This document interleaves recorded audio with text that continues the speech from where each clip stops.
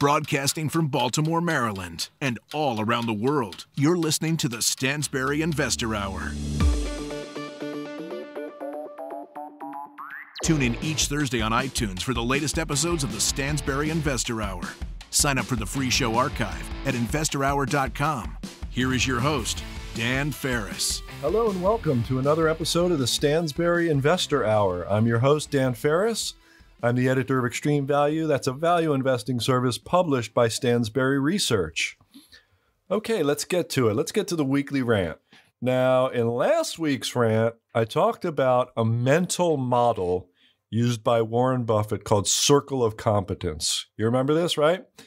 I said to imagine a circle. That circle is what you think you know. Then imagine a smaller circle and for some of us, a much smaller circle inside that first circle. And that smaller circle, that is your circle of competence. That's what you know well enough to say that you really know it at all. Okay. Now, during my rant, I said that you should ask if buying and selling publicly traded stocks, bonds, options, whatever else you're doing, is truly within your circle of competence? It's a real question that I think you need to ask.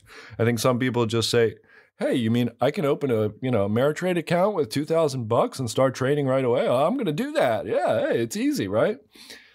Uh, but I don't think it is easy. I think it's really hard, and I think most people think they they confuse the ease of opening an online account with the ease of making money, and the two are just not anywhere alike. So for most people, I think this activity of of trading, short-term trading, is really what I'm talking about. Um, of trading stocks or trading options, really, um, it's outside their circle of competence.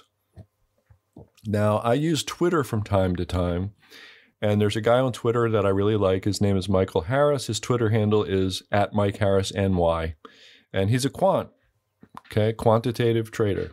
That means he knows crazy math and uh, you know that that the rest of us just don't know, and and he processes price data and uh, through all these crazy mathematical techniques.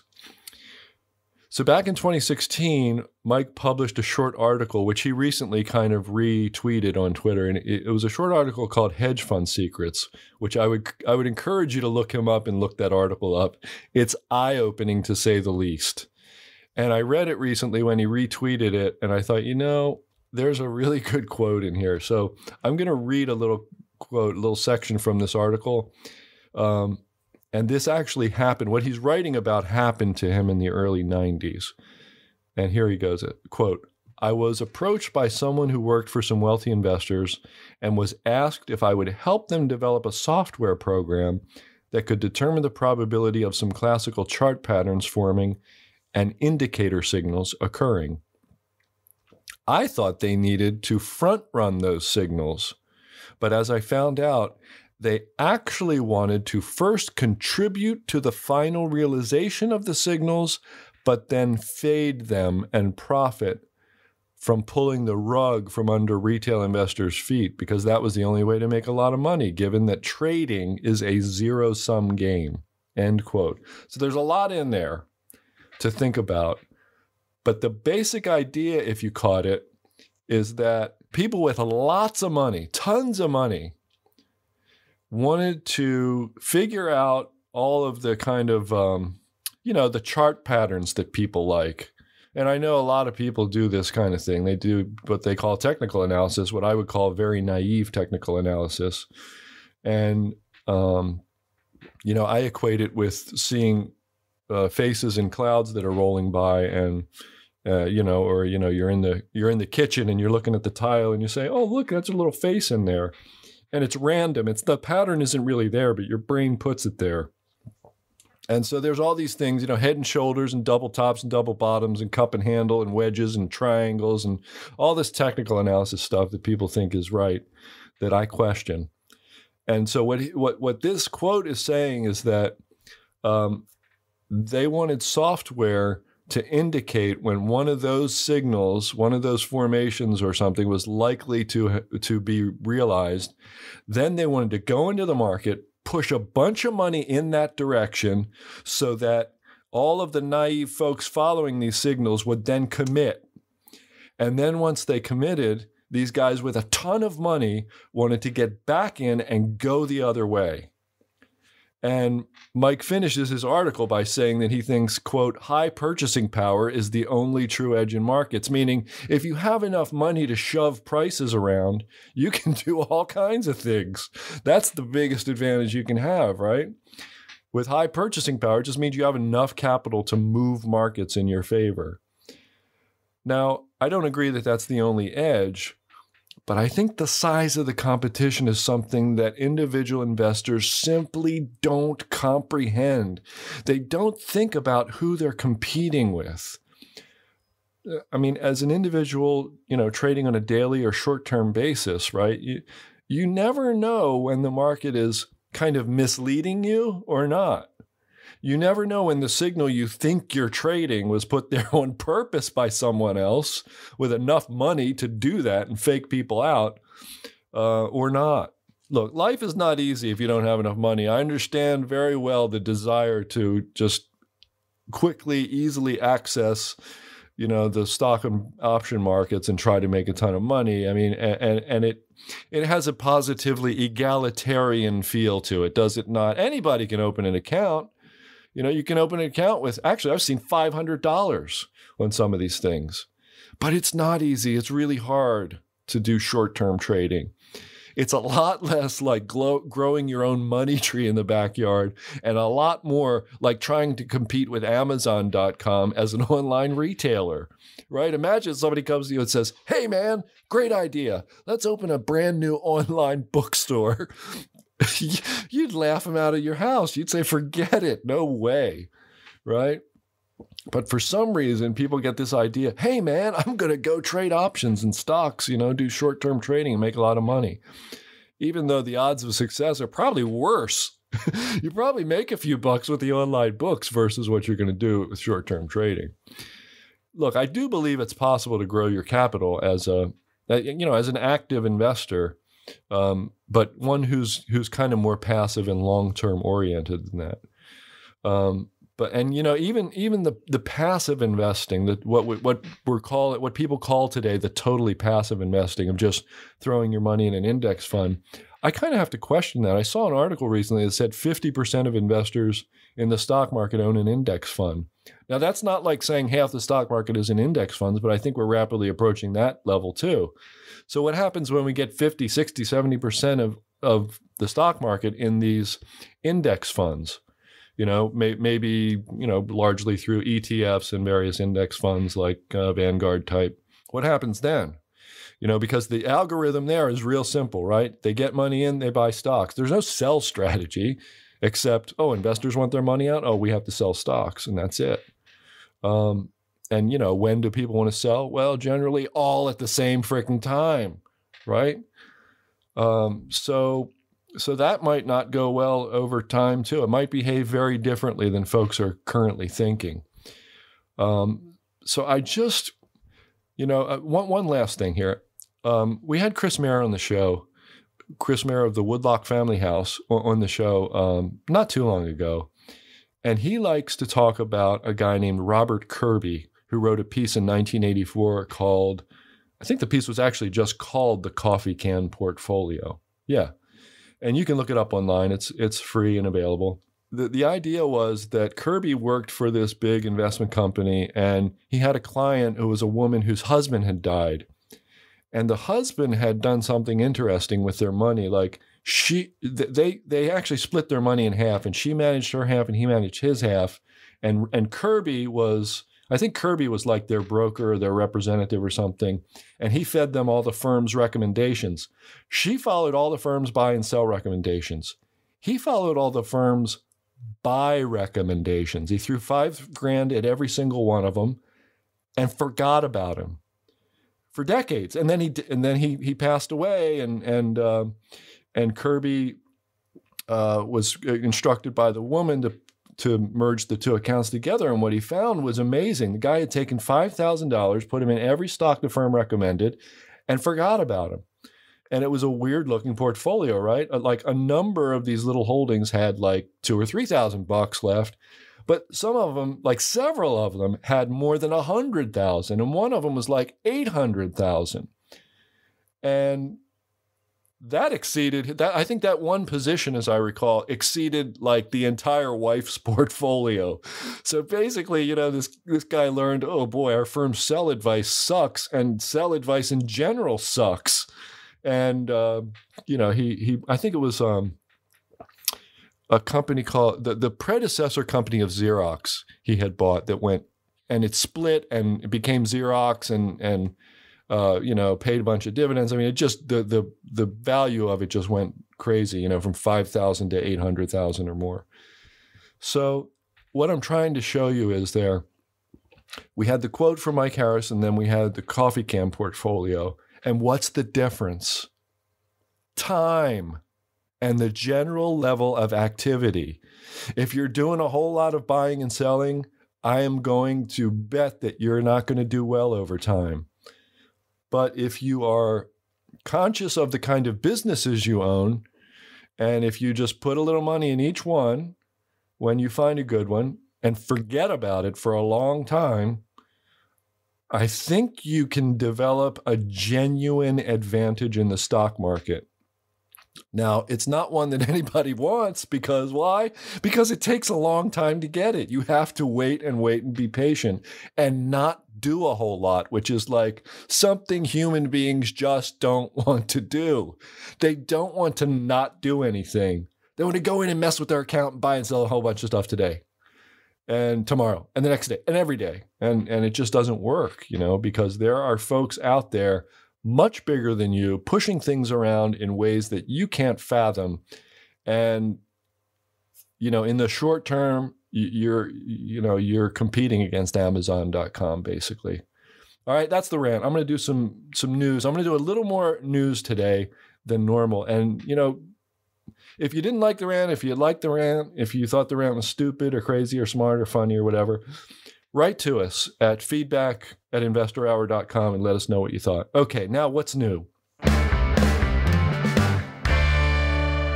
So, real quick, first of all, I saw this item where Zynga, the gaming company, the software gaming software company based in San Francisco, is selling their headquarters building and they're going to get a net cash benefit of roughly 600 million this year from that.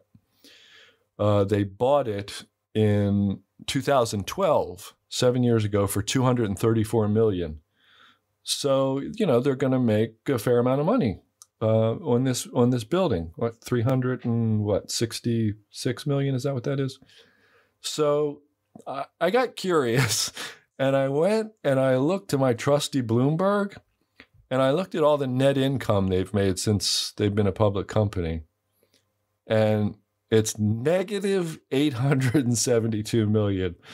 So they've lost 872 million in their business and they've made almost 400 million on their headquarters primarily I assume because it's in San Francisco and everything there is exorbitantly expensive.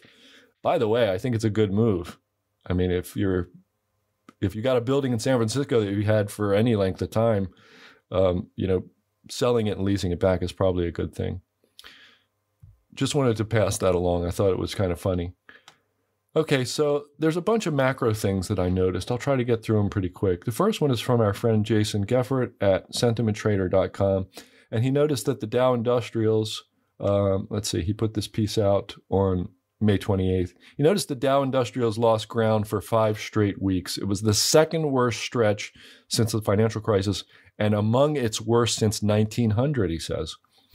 Um, and he says it's relatively unusual to see such a string of losses relatively close to a 52 week high. And over the past 40 years, he says that's led to excellent returns. But before the past 40 years, not so much. Another thing he noted was that low volatility stocks within the S&P 500 hit another new high this past week. But the high beta ones, the more volatile ones, fell to a what did he call it? A 50-day low. So, you know, people are putting and and you've seen articles, there have been articles um, I think maybe in Wall Street Journal, Barron's, I want to say, uh, that I just looked at real quick um, that were saying that there's been a lot of money pouring into the low volatility funds. And I think Grant's Interest Rate Observer also put out a piece earlier this week saying the same thing. And the low volatility funds are kind of strange because, you know, they own stocks like, uh, you know, McDonald's and and Coke and Disney and whatever else, big, large cap dividend paying stocks. But what happens if everybody wants low volatility stocks? Well, then the money pours in there, and then, you know, at some point they're not going to be low volatility anymore. And it's so weird, isn't it? Like there's no strategy you can pin down that stays in that way. There's no factor that will always be a good idea. As soon as it becomes popular, oh, bad idea.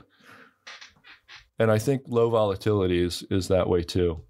So, speaking of volatility, um, little piece on Zero Hedge. Actually, Zero Hedge was just reporting what Morgan Stanley said. Now, there's a guy at Morgan Stanley um, who is an equity strategist named Michael Wilson. He's been kind of consistently bearish recently. And he says, among other things, that the yield curve has done an excellent job of foreshadowing volatility, of foreshadowing the VIX three years in advance.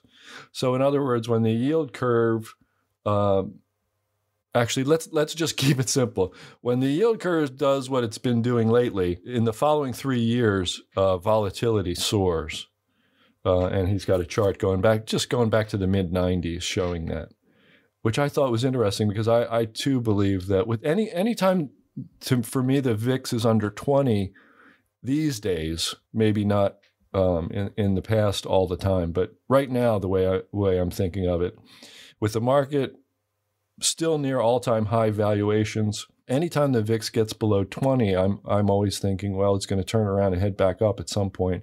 And then when it pushes down to like 15, 14, those kind of levels, because I did some research a couple, maybe a year or so ago, not too long ago, and I found out the the the modal value, right? There's the mean and the median and the mode. And the mean is the average, what we call the average. And the median is the number in the middle that's in in between the highest and lowest value. And then the mode is the most commonly occurring value. And that was like 12 something, around 12 when I did it. So anytime it starts pushing back toward 12, since I'm bullish on volatility, I keep thinking, well, you know, this is gonna this is a coiling spring and it's gonna take off at some point. So, you know, I, I truly think that's gonna happen. Now, I want to point out something that was in the Stansberry Digest um, not long ago. And it was, who said this? Our colleagues Justin Brill and Corey McLaughlin pointed out that the utilities have been generally, utility stocks have generally been seen as a safe haven, but that, and they were actually quoting our colleagues, uh, Ben Morris and Drew McConnell, who said who noticed something about the the um, the XLU, the utilities ETF. Whenever the dividend yield got to around three percent. Uh, you know, when the when the utilities rally, of course, the dividend the price goes up and the dividend yields fall. And utilities have have rallied pretty consistently since the 2009 bottom, and they've had some peaks and valleys. But generally, you could always buy the dips, and they're just they continue to go higher, and they're kind of at that three percent level now, and they've they've bumped along since 2015, they've kind of bounced on that 3% level. Um, looks like one, two, three, the fourth time now. And so when you see that, and, and they were well below, they were down to like 2.5% in 2008, pre financial crisis. And when you see that, they say, you know, it, it's probably just about in the past, it's it's it's been over. The rally has been over. And and this could be the bull market in utilities and the safe haven characteristic is what they were really pointing to could be over. And that is exact I think they're exactly right. Again, my point that I made a moment ago, when everybody thinks something is safe and thinks it's a good idea, it turns into toxic waste eventually. I mean, look, if Wall Street could turn the US 30 year mortgage into toxic waste, trust me, utilities can become toxic waste too. They can perform very, very poorly. Um, just looking around the world in some other kind of, kind of macro news, you've heard a little bit of talk about rare earth metals. Okay, and there was this highly publicized visit by Chinese President uh, Xi Jinping to a rare earths. It was actually a magnet maker. They make magnets with rare earth metals uh, in China, and the idea was he was trying to send a message. You know, there's this trade war going on between the U.S. and China, and he's he was trying to say, well, we still hold some cards, buddy, because we're you know we we have a lot of rare earths. All all I can tell you is I've been around a lot of people in the mining business, and I just want to tell you real quickly: rare earths ain't rare. Uh, there there are rare earth deposits in Europe, United States other places. There, there's plenty of rare earths to go around. Now, if you're talking about processing and that kind of thing and magnet making, maybe China, you know, could hold us up a little bit, and they could certainly kind of hold the the smartphone industry up a little bit. But I I think it's a mistake to get too frightened about this, and that's all I'm going to say. And I think rare earths have been one of the biggest, you know, the, the most popular rare earths are fraudium and scandium and storium, right? those, are the, those are the ones that, that people really need to know about. All right, so moving from the macro to the micro, I have to mention Amazon, and then we'll get to our guest today. There was an article on Bloomberg earlier this week says Amazon is poised to unleash a long-feared purge of small suppliers. And so Amazon, they do two things. They buy products wholesale, you know, like a normal retailer, and they sell them. And they also have the Amazon marketplace where they simply offer uh, the supplier really becomes the retailer via Amazon, right? The supplier sells directly to their customers through Amazon. And Amazon is saying, well, what we're going to do is we're going to purge and the sources for this article say basically vendors who are selling less than 10 million in products each year um, will no longer get wholesale orders from amazon. And th- th- they weren't real specific on categories of products but you see what amazon is doing right? They're trying to consolidate they're trying to cut costs and they're trying to uh, you know get rid of basically these small suppliers that they don't need. And it gets rid of their inventory too. So they're not buying you know 10 million or less in all these little products and keeping all these little piddly ass inventories that probably build up to a significant number. And th- that way you know then they'll just get a slice of whatever those folks can sell. And i imagine it'll be less. So uh, so basically the point of this article i think is correct. Lots of little mom and pop suppliers from amazon um, are are going to get hurt because who's ever heard of you, right? You're selling to Amazon, you get these big orders, and who's ever heard of you um, if you have to go direct to the customer through um, through Amazon? And so people like you know Procter and Gamble won't be affected. Uh, you know Lego, the toy company, won't be affected, but lots of little businesses will. Um, I just thought that was an interesting article because I see a lot of stuff about people wanting to break up Amazon because they view it as having monopoly power. And these kind of things are what attracts that attention. And so they're going to keep the, you know Amazon and even other other of these big new tech companies, Facebook and Google in the ad market, you know, they're going to they're going to exercise pricing power and and other kinds of power in the market and they're going to attract the wrong kind of attention and and who knows? We, it, this might be like um, you know standard oil part two where people say it's time to break them up. So i'm, I'm not sure how that would be for investors. I think um, you know certain parts of amazon like amazon aws web service probably a phenomenal business you know but maybe the retail is maybe the retail is struggling if they're if they're having to do things like this, or maybe they're just being smart. I guess we'd find out if they, uh, you know, if they split up and became a separate company. Okay, it's time for our interview with Mark Yusko. I'm so excited to have this guy on the show. This is going to be a really good talk, I promise. Mark Yusko is the CEO and Chief Investment Officer of Morgan Creek Capital Management LLC a registered investment advisor formed in July 2004 to provide investment management services based on the university endowment model of investing to wealthy families, individuals, and institutional investors. Morgan Creek currently has 1.6 billion in assets under advisement in non-discretionary accounts and discretionary funds. Prior to forming Morgan Creek, Mark served as the chief investment officer for the University of North Carolina, where he founded the UNC Management Company, providing outsourced investment management services to select schools within the UNC system. Prior to joining UNC, Mark was the senior investment director for the University of Notre Dame Investment Office, where he joined as the assistant investment officer. So please welcome to the show Mark Yusko. Mark, welcome. I'm so glad you could be here. Thanks for having me. I'm excited to have the conversation this morning and great to be with you. Okay, so Mark, before we talk about what you're doing now and what kind of investor you are, how did how did uh, you get started in finance? How how young were you when you first kind of got an interest in this? You know, I, I wish I had one of those great stories where I was, you know, trading stocks in middle school and and was really interested in it, but but that's not the case. I would say my life has been a, a series of happy accidents, and they have all been happy, fortunately. And and I kind of got here in a random way. And I'll, I'll, try to give the short version, although I'll say up front that I don't do short well. So if I if I ramble, just cut me off.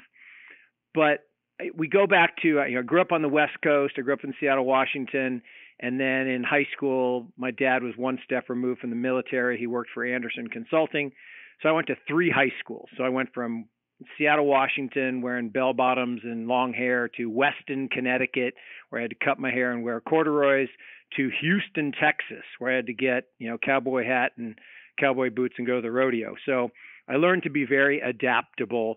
Uh, went to Notre Dame, thought I wanted to be a doctor uh, went all the way through, took MCATs. If you decide not to be a doctor, do it before you take the MCATs. That was a bad day. uh, decided that I didn't want to be a doctor. And there aren't a lot of jobs if you're coming out of school with a pre med degree back then in the 80s. So you could be a pharmaceutical sales rep. And I would say, since I'm not six five and gorgeous, I couldn't do that. Or you can be a consultant. And so I had a job with a consulting firm.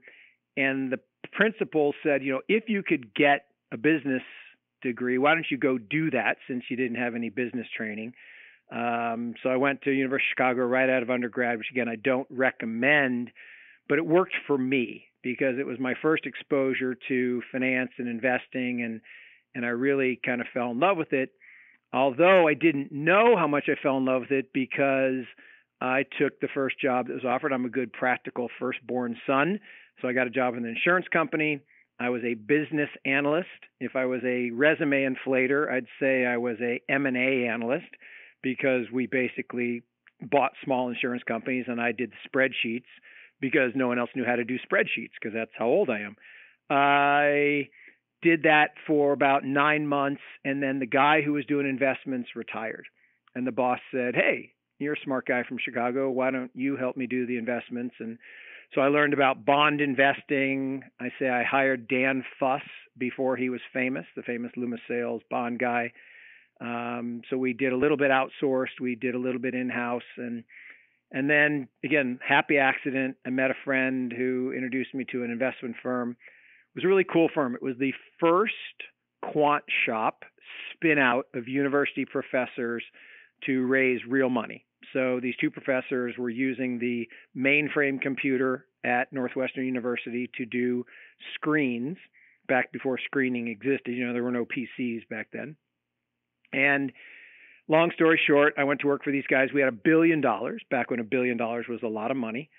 And they had this edge that they got the tape from CompuStat on day one and then it went out snail mail to everybody else. And so they had a four day lead in running these screens and making investments.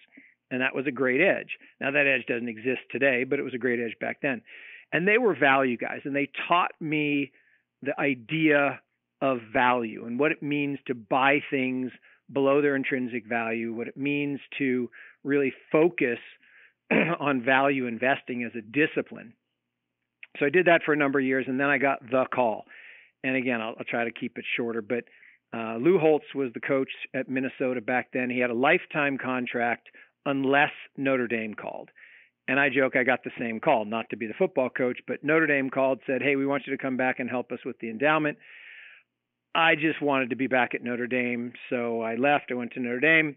Uh, I was assistant investment officer. There were two of us. We we basically were learning how to build an endowment model portfolio with Cambridge Associates' help, and we emulated the best, like Harvard and Yale and Princeton and Stanford.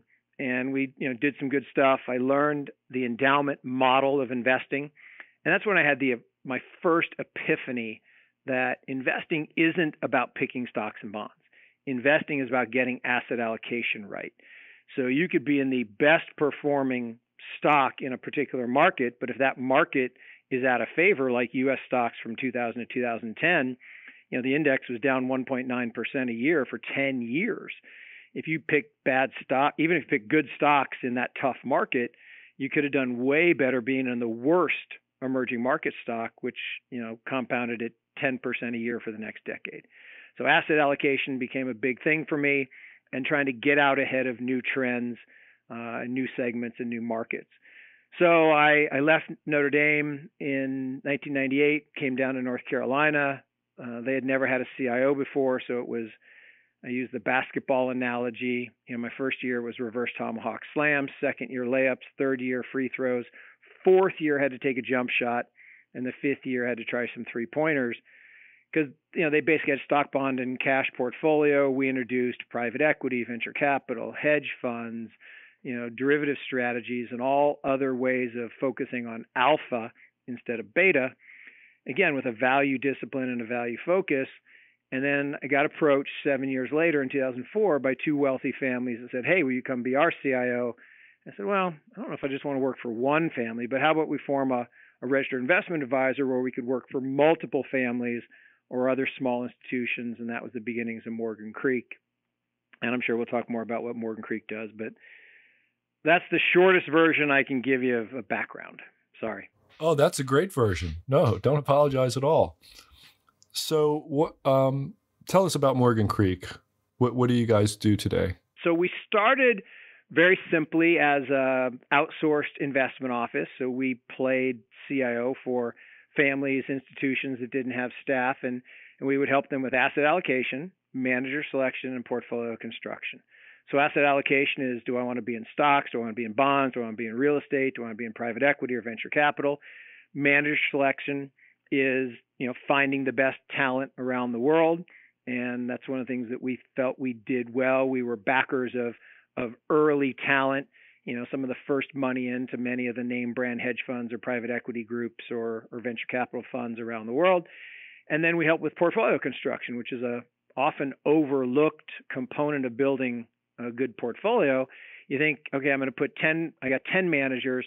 Do I give them 10% each or do I give 50% to one and 5% to the others?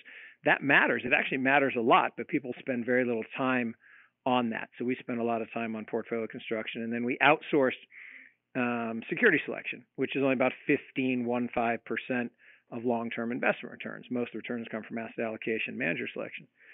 So we built that business and, and then we morphed into fund of funds. So we helped people build portfolios, diversified portfolios of hedge funds or venture capital or private investments. Then we started making co investments alongside our external managers, and we started building co investment funds and then ultimately special purpose vehicles to invest in single deals. So we've helped people get invested in, you know, Alibaba when it was a private company, or Facebook when it was a private company, or you know, most recently Lyft when it was a private company. So, you know, we don't really uh, care if the price is down from $80 to $60 since our cost is in the teens. We're pretty happy with Lyft. So um, we built those businesses, and then most recently, uh, we've done a little bit of a pivot to raising our first dedicated infrastructure investment fund where we're the principal investors as opposed to an allocator or fund of funds. And we raised a fund around blockchain technology called the Blockchain Opportunity Fund uh, about a year ago and have been investing that and actually have, have put all that money to work in the past year and are getting ready to raise fund two. So tell me about the infrastructure fund. What you, is that equities or direct investments or what, what is it? Yep, really, really important point. So yes and yes. So when we uh, and we can talk about kind of my my crypto journey, shall we say, and that you know we've been in business at Morgan Creek for 15 years, and uh, most of that time has been focused on traditional assets as well as integrating alternative investments into portfolios. So we've been big investors in hedge funds, we've been big investors in private equity and venture capital, energy and natural resources, commodities, as I said, derivative products or hedging strategies. So one of our big bylines is I would say there's no such thing as alternative investments. There's only four things that you and I and everybody else listening to this can own stocks, bonds, currencies, and commodities. Everything is just a combination of that. People say, well, what about real estate? Well, you either own the equity of the deal, the debt of the deal, or the land, the commodity. Well, what about private equity? Well, in private equity, you own convertible bond, preferred stock, or common stock of a business. The only difference is it's illiquid as opposed to liquid, like a publicly exchange traded stock. Uh, bonds, you know, you can own bonds, or I can own direct lending portfolio, which is same risk as a bond. So stocks, bonds, currencies, and commodities. Hedge funds are not an asset class; they're an access class. They give you access to managers that own stocks, bonds, currencies, and commodities. So our big thing was alternative thinking about investments, not alternative investments. Because I would say whoever invented the term alternative investments was not a marketing genius, right? People don't like alternative stuff, alternative music, alternative education. They like traditional stuff. And so they're always afraid of alternatives. So I say if you think differently about investing and you think about being a value investor and if you think about buying what's on sale and you think about being greedy when others are fearful or fearful when others are greedy and kind of being a contrarian, you end up with much better long term results. So we tried to help people think differently about investing. And one of those is that we like to think differently about new areas of interest. And, and one of those is is blockchain technology. And and I use those two words very intentionally uh, and inextricably linked. Uh, blockchain is is technology, and it's a natural evolution of a 14 year cycle that has been going on for decades across computing technology, and it goes all the way back to the 1950s. 1954, we had the mainframe, and then 14 years later, we had this innovation called the microchip, and it allowed for microcomputers. And then 14 years later, we had the personal computer. And you know the funny story about Steve Ballmer's mom saying, "Honey, why would you go to work for Microsoft?" And you know he has 18 billion. She said no one would ever want a computer in their house, and he has 18 billion reasons to say, "Mom, I was right." And then 14 years later, we had the internet, and there's this crazy thing that you know Paul Krugman said would never be more important than a fax machine and it's created some of the biggest wealth in our lifetime. So it's a little bigger than that. And then 14 years later was the mobile net. So we had these little supercomputers in our hand. Some people call them phone, but no one actually ever talks on them anymore. Um, they just text and, and look at them while they're sitting together. Um, and then 14 years later, 2024, which people say, wait, that's five years from now. Yeah, that's the point. In 2024, we're going to have the blockchain era. And blockchain technology is the equivalent of DOS for personal computers, Android and iOS for little mini computers in our hand or supercomputers in our hand or phones. And then 2024 will be the Internet of Things or the Internet of Value, and blockchain technology will be the operating system of that new computing paradigm. So when we think about investing in technology, we like to invest in infrastructure.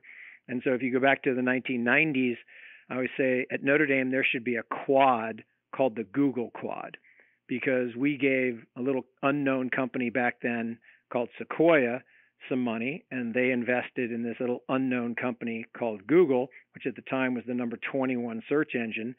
So our $500,000 turned into $200 million. So there should be a quad at Notre Dame called the Google Quad. And then you fast forward to 2010 and you know, we made lots of money investing in companies like Facebook that seemed like a silly idea. Why would people want to, you know, have a social media company? Uh, and today it's, you know, social media is what all people spend a lot of their time on. And as we come toward blockchain technology, we thought it would make sense to build a portfolio around the infrastructure of building out this new ecosystem.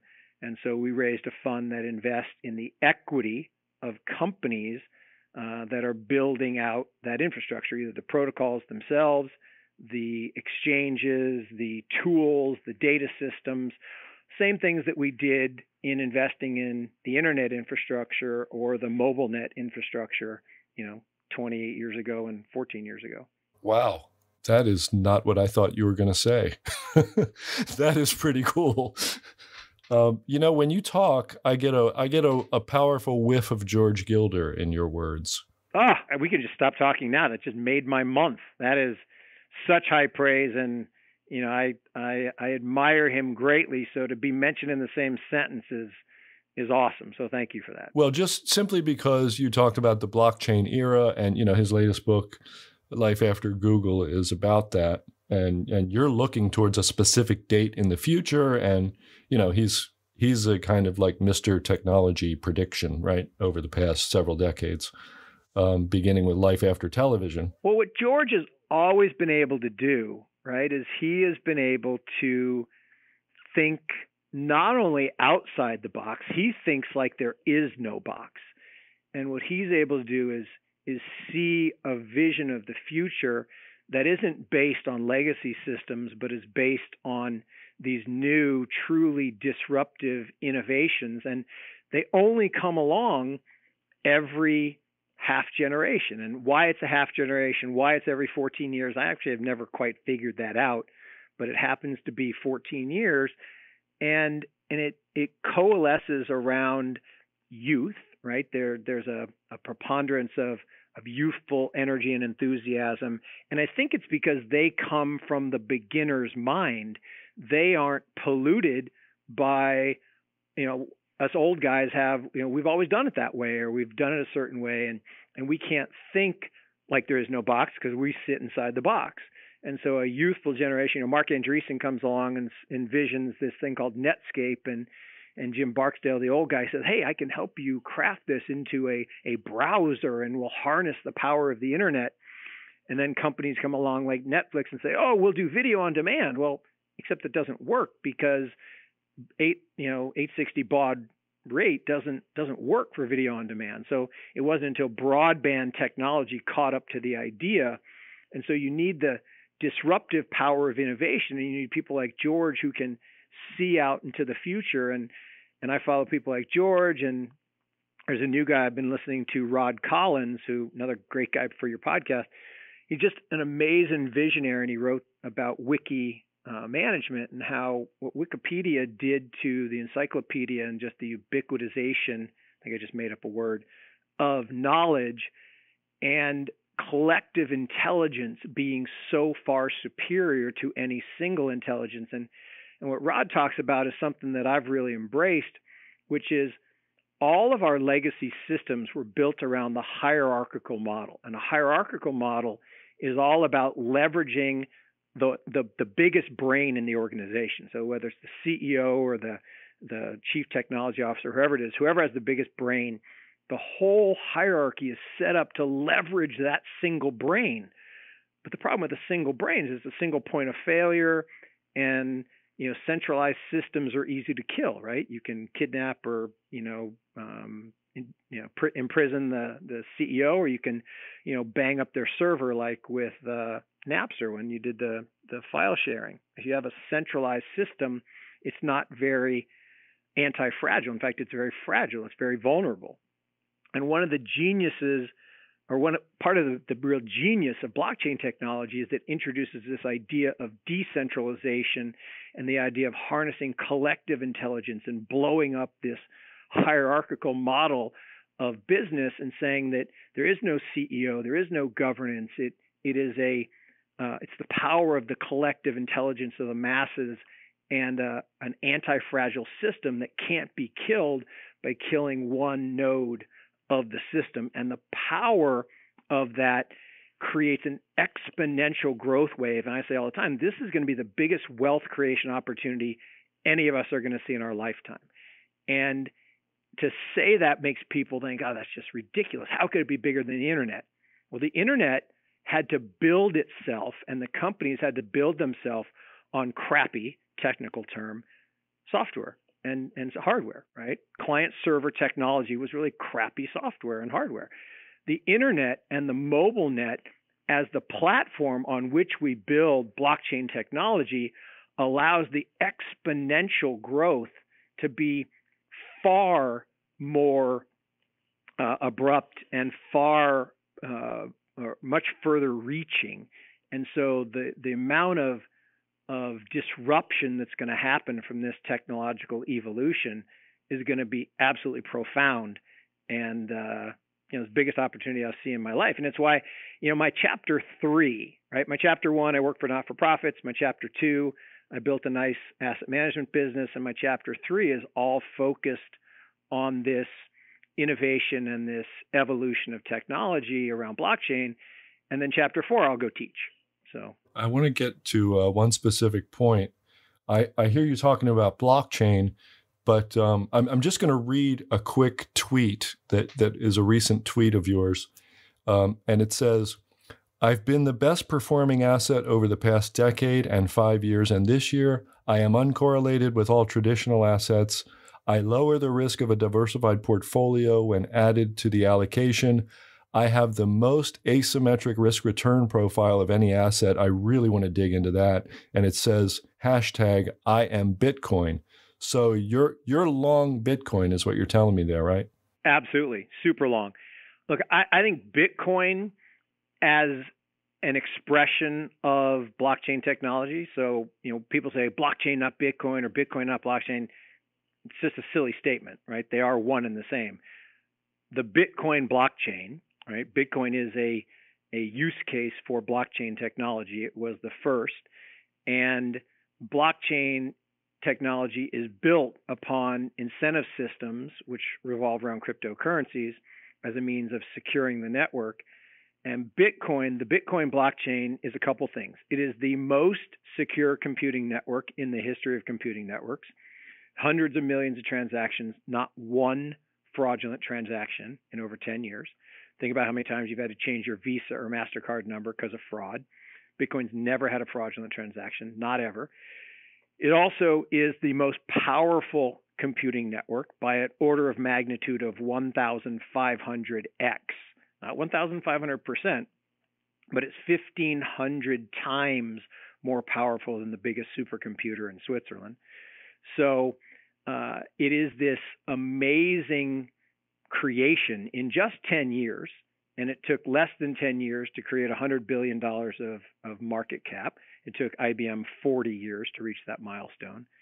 So it is a extraordinary thing, and and when you think about it, at what it is at its core, it's a network, right? It's a system.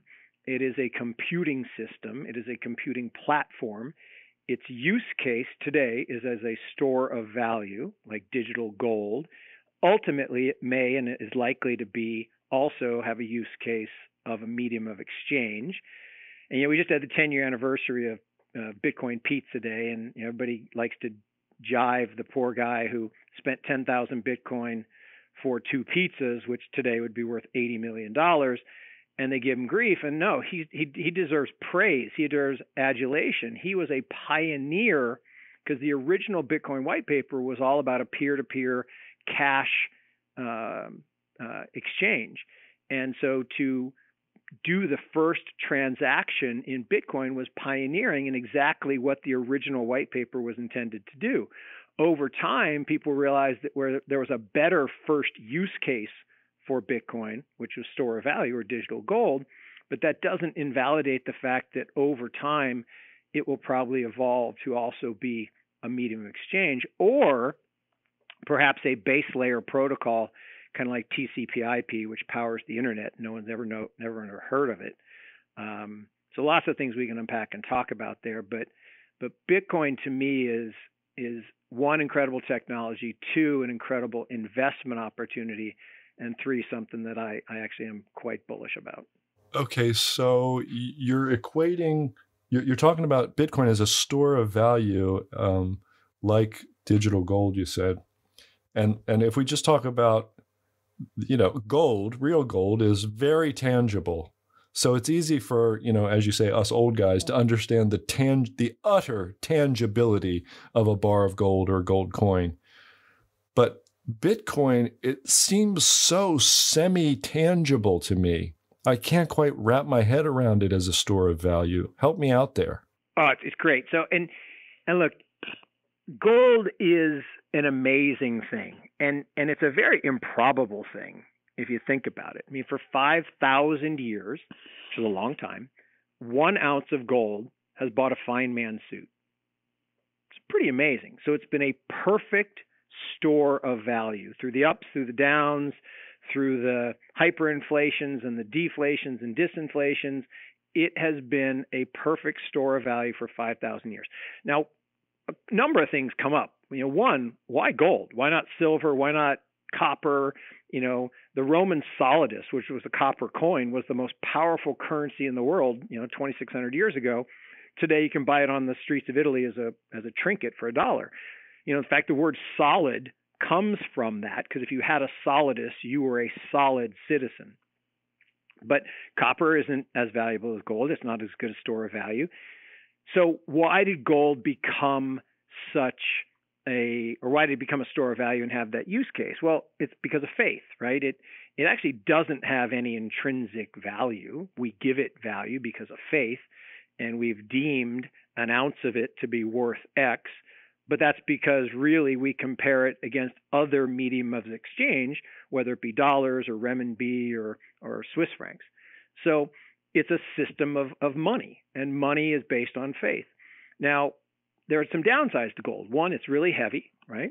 It's you know very dense. It's hard to transport. It's hard to secure. We have to put it in vaults and have armed guards, and it's very hard to divide. There's one of my favorite scenes from one of my favorite movies called A Knight's Tale, and Heath Ledger wins this jousting tournament and he wins this gold calf. And he needs to pay somebody and he literally smacks the thing on on the table and breaks off a leg and says here go sell it do whatever you do with it. That's a really inexact way of splitting up gold. And if i want to break a gold bar it's really hard to do. But that's because it lives in the analog world. It lives in the physical world. And all of commerce still resides in the analog world. We still use 400 year old technology to trade stocks. We still have paper stock certificates. Everybody says, no, no, no, we have CUSIPs. Well, you do have a CUSIP, but a CUSIP is just an alphanumeric representation of the physical piece of paper that sits at DTCC. Why do we still have physical piece of paper? I don't know. We don't need them. We have them because the legacy systems, the seven or eight computing systems that have to talk to each other, which is why it still takes two days to settle a stock trade, which is absolute lunacy still takes a month to sell, settle a bank loan. Still really ridiculous. It could all happen instantaneously on a blockchain. So what happens is the analog world is shifting to the digital world, and digital storage of anything, whether it's digital, you know, asset like a digital security or digital gold, I think is far superior. And one, it's more portable it's more dense. Like all the gold in the world fits in two Olympic sized swimming pools. Really heavy, hard to transport. All the Bitcoin in the world could sit on my cell phone. Now, I don't have all of it in the world. I have a little bit, but and I don't put it on my cell phone because of SIM swaps. But I could put it all on my cell phone, and I could transfer it across borders, and literally all of it could exist in my head because I could I could have my private key in my head.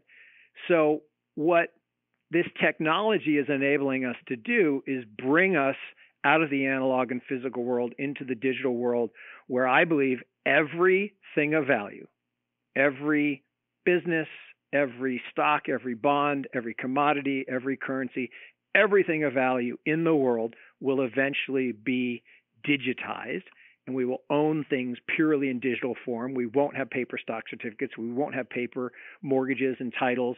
We won't have you know pieces of paper title for my boat trailer. I think the title costs more than my boat trailer is worth, but we won't have that. We will have digital representations, and we will use blockchain technology to exchange that digital those digital assets over time. And so what Bitcoin allows us to do is it allows us to have a digital native form of a medium of exchange or a store of value. And that store of value use case is so wonderful because it's sound money. And the difference between sound money and unsound money is fiat currency isn't linked to anything, right? Fiat currency is based on faith and is based on the government can print as much of it as they want at any time. That's where the word fiat comes from, can be created at will. And in the past, all paper currencies were linked somehow to a commodity, either gold or silver or, some other commodity. And so they had real value. You could exchange your green piece of paper back in the old days for, you know, so many ounces of gold or silver. In fact, the pound sterling, right, had to do with a pound of sterling silver, hence the name. Today, paper is paper. It has no intrinsic value. It isn't honored by the government. If you turned your green pieces of paper into the government, they'd give you nothing for it. If you turned your red piece of paper to Chinese government, they give you nothing for it. Or your yellow piece of paper in Israel, they give you nothing for it.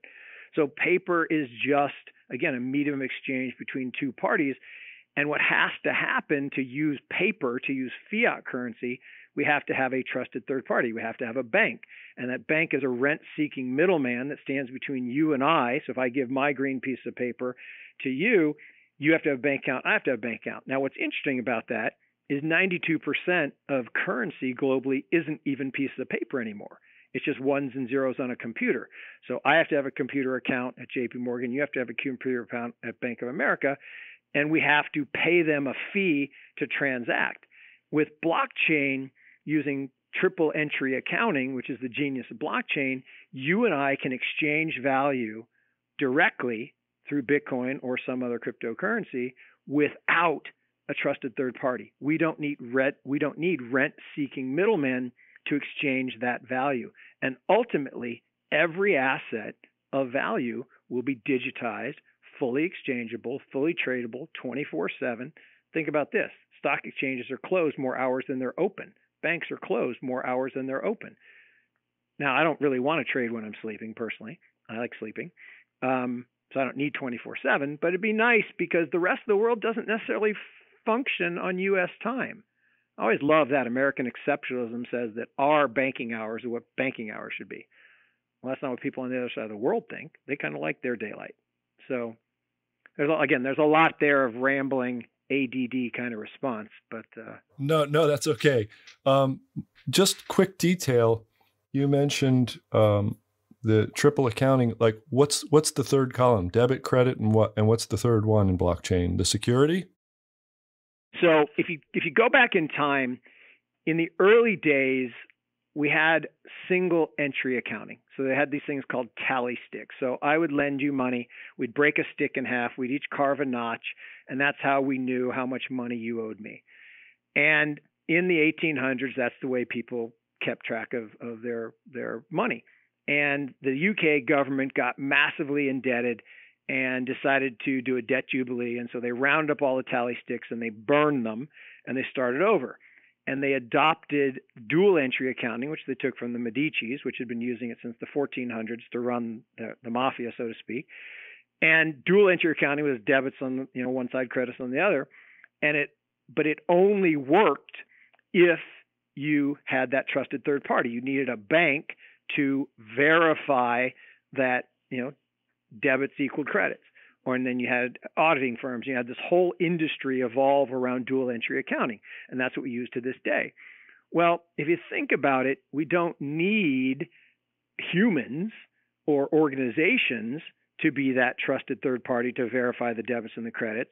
We can actually have computing system or the network be the third entry. So one entry is your entry, second entry is my entry, and the third entry is the Bitcoin ledger, which exists across thousands of nodes around the world.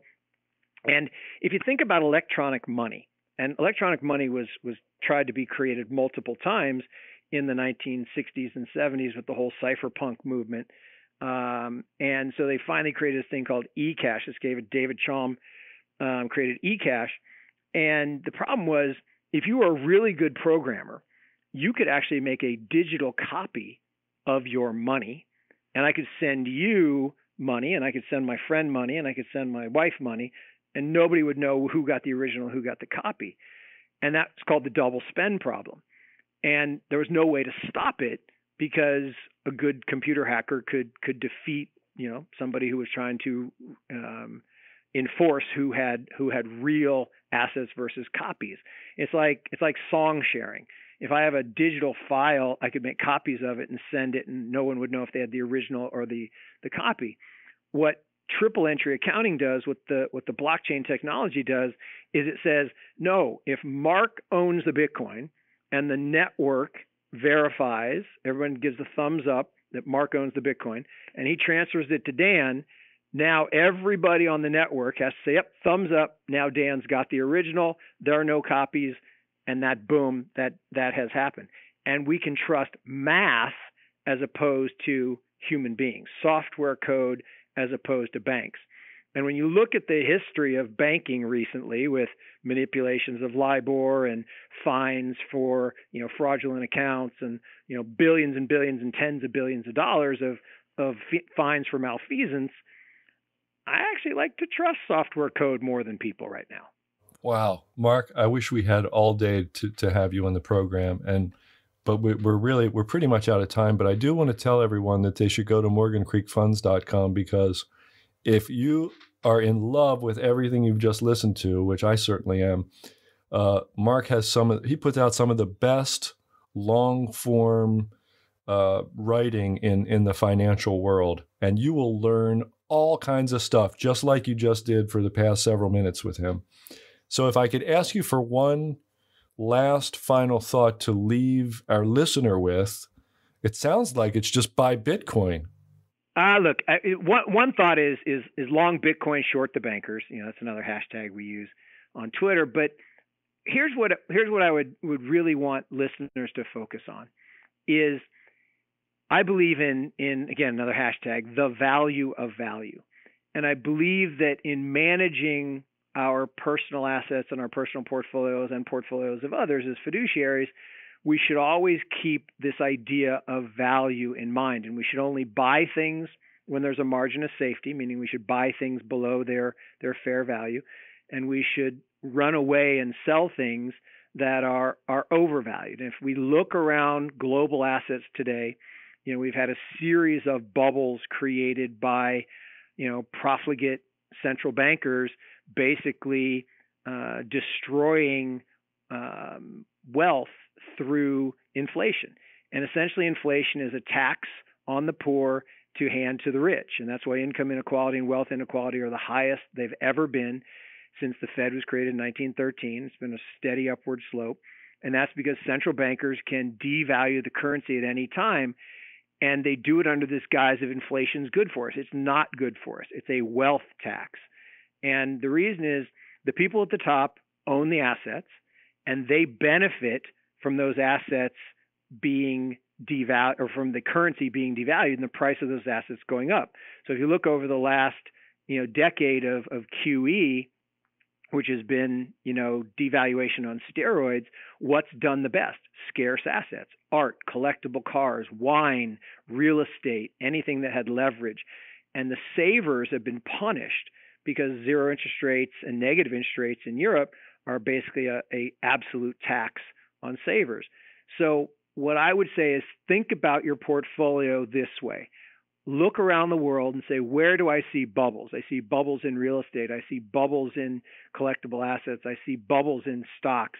Where do I see value? Well, I see value in new technology and innovation. I see value in you know, emerging market countries like China uh, where assets are selling sub 10 times earnings. I see value in uh, some other of, of, the frontier markets, places like Argentina, where you know it's been a basket case for centuries, but they've got some good leadership today and, and a lot of very very cheap assets. So when you think about how to allocate your assets, buy things that are on sale. I, I say investing is the only business I know when things go on sale, people run out of the store, and the cheaper they get, the further they run. And Bitcoin to me is an example of something. It's not as cheap as it was nine weeks ago, but it's still really, really cheap. And over the long term, as the fundamentals improve, uh, I think the value of that of that asset will will only get better. So uh, diversify your assets. And and you mentioned the the point I said in my tweet about I am Bitcoin that it's the most asymmetric return payout of any asset that I've seen really probably in my career. And, and I believe that. And what I mean by that is you can put a very small amount into something like Bitcoin. You can put one, two, three percent in your portfolio, and the asymmetry of that hedge against a, a calamitous outcome of the profligacy of, of central bankers and massive devaluation or even hyperinflation, like we've seen in places like Zimbabwe or Venezuela, if that were to occur in the developed world because of the huge debt problems that we have, uh, we could actually see very, very large returns to sound money like Bitcoin. It could protect your assets for the long term. So think about being diversified, think about focusing on innovation, and uh, embrace a little bit of crypto. Wow, Mark Yusko, thank you so much. That was great. And I'm going to ask you right now in front of the whole world if you'll promise to come back and see us maybe just sometime in the next like 12 months or something. I don't know. Look, I love doing these conversations. There's nothing more fun than talking to a well prepared host with lots of great questions. And so I've, I've loved spending time together. I would do it anytime. So happy to do it. And, and thanks for having me on. All right. Well, thank you, Mark. And uh, I really look forward to that next conversation. Thanks a lot. All right. Thank you. Okay, I hope you're all saying wow right now about that interview with Mark Yusko. I love that guy. He's just obviously he's a walking encyclopedia. He's got a brilliant mind and he's thought a lot about the whole history of all this stuff. But there's a really his latest piece is really great. And when I said long form, I said he writes really good long form stuff. I wasn't kidding around. Like his his um, fourth quarter 2018 market review and outlook is 83 pages, okay, at morgancreekfunds.com. But it's great. It's got this whole long bit about Charles Darwin. And he, I, I won't spoil it for you, and it's really long, so it's hard to sum up, but he just, he tells you all about Darwin and how his career got started and how he was kind of a better than average scientist, you know, early on. And I highly recommend it. Okay, so let's do the mailbag right now. Okay, ladies and gentlemen, the mailbag is extremely important to this show. You know, we really want to hear from you. And this is where we have our conversation. I want this podcast to be a conversation about investing between you, the listener, and me, the host. And and you know, our guests too. If you have questions for them, sometimes we can we can shoot them back their way and, and get an answer. But you know, that's kind of hard to do. Uh, anyway, look, whatever is on your mind, email us and the email address is feedback at investorhour.com. We really do want to hear from you. Okay, I've got a couple mailbag items. Uh, the first one is from Matthew S. And Matthew S says, Hi, Dan. I was wondering how you view the middle ground between an experienced investor with 20 years of experience versus someone who is getting started. Personally, I can't learn unless I have skin in the game. I have a 401k, which I cannot actively manage, some real estate, and I have some money in index funds. But I also have, probably more than I should, money in a portfolio that I manage actively. I make some decisions based on newsletter advice, but others based on my own research. I've made lots of mistakes, but I manage my risk with trailing stops and position sizing. I think I've improved since I've started, but it won't be easy to tell until I've been in for several years. I think the point you were making and he's referring to last week when I was talking about circle of competence. He said, I think the point you were making had more to do with extremely speculative behavior new people make, but it hit home when you mentioned knowing about the difference between an OTC stock versus buying on TSX. Because I just spent a long time online and a phone call to my broker to discover that while I can buy directly on the TSX instead of OTC, they still can't reinvest dividends for me if I buy Canadian stock. I couldn't get a direct answer until I called and talked to my broker, though, and he probably thought I was a dummy. Working hard on expanding my circle of competence, Matthew S. Thank you, Matthew. A lot of stuff in there that I just wanted people to hear. I wanted people to hear that, you know, we're all we're all just uh, you know doing this one day at a time and i think i won't comment on specific things that you should be doing although i think trailing stops and position sizing is very wise uh, for someone in that in between state I totally understand the idea of not learning about investing unless you have some skin in the game. In fact, for the first time, well, actually, I guess it's the second time, um, for, but but for the first time as a as a holding as an asset allocation, um, I bought some Bitcoin earlier this week, and I feel like now I can really start learning about it because I own it. Somehow, owning it just is is a little different. But uh, you know, I, I like everything I'm hearing, and and I I wouldn't tell you to do anything different. It sounds like you're in a good direction, and you're making some prudent decisions. Number two in the mailbag. This is from Jean S. And she says, Hi, Dan. Good rant. Keeps everything in perspective.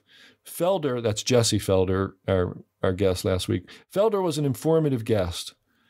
Notice you don't have to pull much out of your guests. They're very forthcoming, always interesting. Gene S. I included this because I've seen Mark in inter- uh, I've seen our guest today, Mark Yusko, in interviews before, and I've read his you know 80 page quarterly stuff online.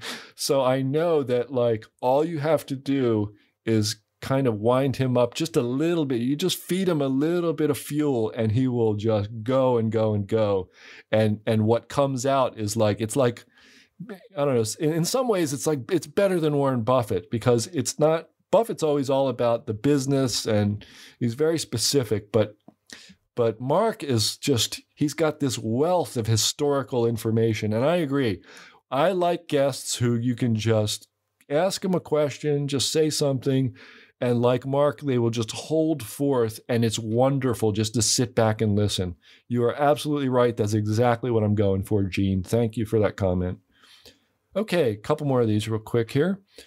Uh, third one is from Steve H. And Steve H. Uh, um, I've seen Steve at many events over the years, over a long time, many years, and uh, you know I don't hear him so often from him so often in in uh, the podcast feedback, but uh, he's writing in today and he says, just a thought on your Bitcoin show. For tax purposes, Bitcoin is a capital asset. What that means is if I use it, I am transferring that asset to someone else in return for goods and services. It is considered a sale. So if I buy a pack of gum, technically, I would have to track and file on the transfer of that Bitcoin. I would have a gain or loss depending on what I gave for the asset. We can buy and speculate currencies. These transactions are treated the same. However, the currencies can also be used as a means of transfer. So that currency can flow freely from buyer to seller. There is no record keeping or filing required. Seems to me this is the major hurdle for cryptos. I've yet to hear anyone mention this. Cryptos have to be recognized as a means of transfer to have widespread adoption. Of course, this would have to come from the government. So I guess one would have to ask themselves, how likely is that? I don't know. Great show. Steve H. You know, I meant to bring this up today, but God, listening to Mark was just so, so great. Uh, and maybe we'll have him, and maybe I'll shoot this to Eric Wade and, and I'll shoot it to Mark and see what they say. But I agree. The only point that I would make here is that one of the things I've noticed, and I don't know, Steve, if you consider yourself a libertarian or not, but it seems to me like I've been to these libertarian conferences and things, and I've known a few of them over the years they're all way too afraid of the government, which is really counterintuitive. Like libertarians should be saying, up yours. You know, they should be saying, we don't care if the government approves of this or not. But I understand wanting to work within the law, but you know, I think um, I, I'm I'm not sure that that really will be a huge problem going forward. I think, you know, Bitcoin is so secure. It's like, you know, the the most Swiss Switzerland of all Switzerlands. You could, you know, it's secret and and independent, and uh, I'm I, I don't know if that will be a problem or not. But it is a good point, and it is well worth bringing up. And I'm glad you did, and I hope we can. I hope yours truly can remember to ask the guest next time. Put it that way, okay? Uh, one one more question. It's really long. I'm not going to read the whole thing. It's from Al M, who is a longtime reader and, and a longtime correspondent here.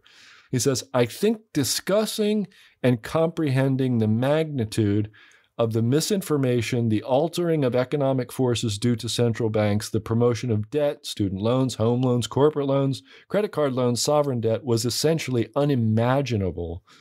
All central banks in the world were attempting to force society to borrow and spend, recognizing how this fiasco compares to a more normal debt cycle is truly what good investing is all about. And then he talks about what's going to happen to the big bond ETFs. You know, we're at the end, at the end, maybe, who knows, of a 38 year bull market in bonds.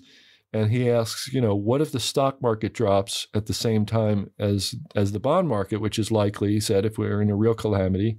He says, there certainly could be fear that debts won't be paid. And then what happens when the bonds inside the ETFs don't get a bid? You know, they're trying to sell bonds because people exit the ETF. This, to me, this is a real issue. And I thank you, Al M., for bringing it up.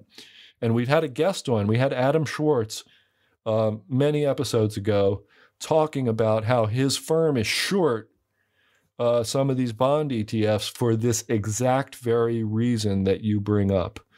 And I agree that this time around, it could get really super ugly. I think the super ugliness is probably a couple years out, but who knows? I, you know, I, I don't know the future. Um, but but great question, and I wish I could read your entire question, but it's just so darn long.